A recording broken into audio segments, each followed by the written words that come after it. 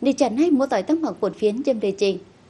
mua tỏi trên hăm dâm tây nguyên, mách cháy khâu mình quần vâm, chấu liền đẩy với dòng chay khâu vâm buồn miền nhằn.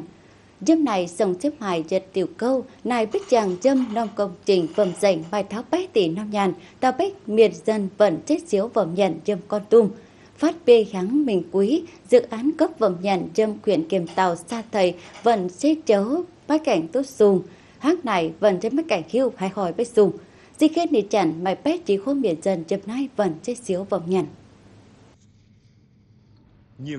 trăm hiáng quý biển dân trong tề bùng huyện sa thầy nhất bè có xã sa nghĩa sa bình sa nhân kiếu thị trấn sa thầy chiếu vòng dành nhận biển nách màu gai chấm béo biển chấm mai vông duấn đồng tế béo khâu bên bị thuốc vòng chấm có béo biển chấm tàu ai duấn đồng như bùa chấm nay với khố tháo chịu khá bàn trên triệu vòng nhận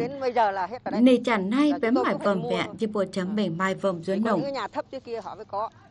chứ còn chúng tôi ở vùng cao này nói chung cái hết cái rẫy này là không có nước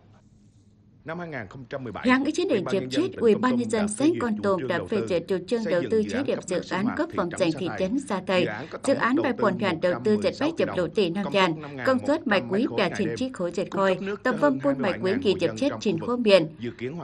Vốn chớ sung tập biển đồng chậm hàng chế định chập chu, ta sẽ tháo trả máy khiếu vầy khánh dụng với tiến độ chấu khối tuần, bành đao, chấu buôn việt dần máy ngàm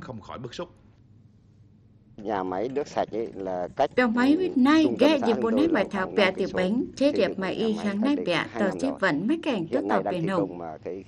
mà mà chưa được phải sử dụng được. Trong lúc chờ biện pháp thúc Dâm khí tru có tiểu công tỏ khen chấm chính quyền kế chức năng bệnh tiến độ tiêu dùng, khiến hai biển dân chấm nay vẫn chấm càn bình lo chăn tướng tiếp vòng liều bên nồng chấm gia đình